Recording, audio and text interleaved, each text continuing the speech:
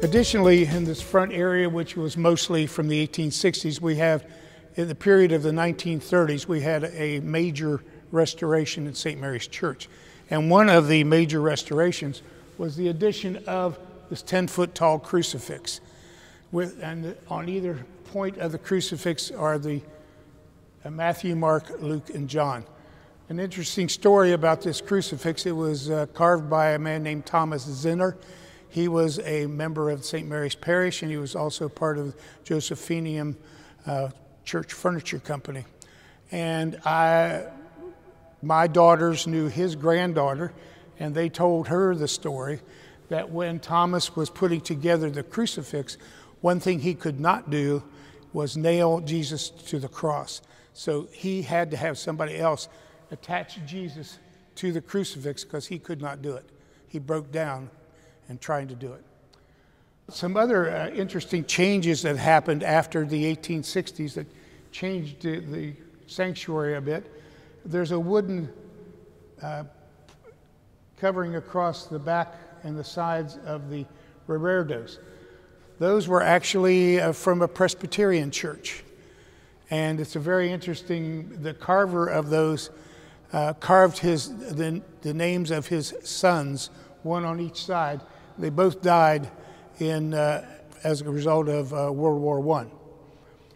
Uh, another thing uh, in the, as a result of the Vatican II in the 1960s, the altar was removed back in the back uh, mainly because it was felt that the priest should face the people instead of his back. Now, one of the reasons why the priest was there at the altar facing east is because Jerusalem was in the east, and the congregation and the priest were facing Jerusalem.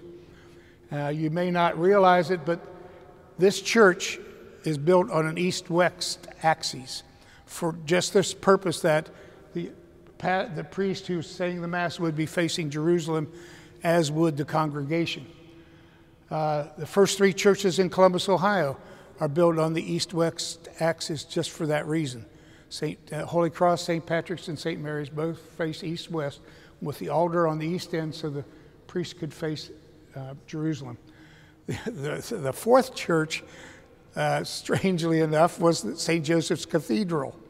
And it was the first church not built on an east west axis. Uh, I don't know. Strange things in, in, in, our technicalities in our church. Uh, that the altar that was up there, part of it was brought down here and formed into a table, and then it disappeared.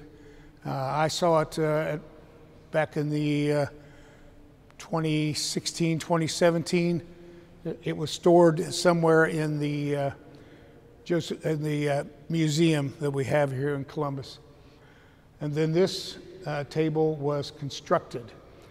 Uh, interestingly enough, in the, it, this ambo was uh, from a uh, Methodist church.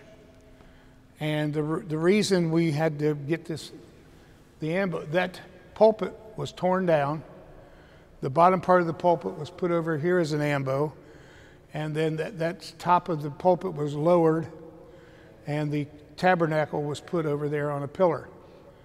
And then, when uh, in the 2016 area, the pulpit went back in its original place, the uh, top of it was moved up.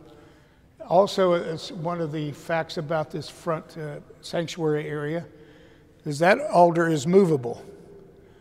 We had the Latin Mass on certain days when the priest was up on that altar facing east. It was, it was I think it was two days a week we had that in the mornings.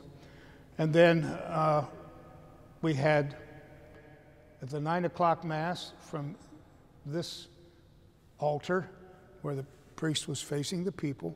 And then at the 1130 Mass, we have what used to be called a folk group uh, that's sort of evolved over the years. And uh, when we had the Latin Mass, so that the people could see what was, the, what was going on in the Mass,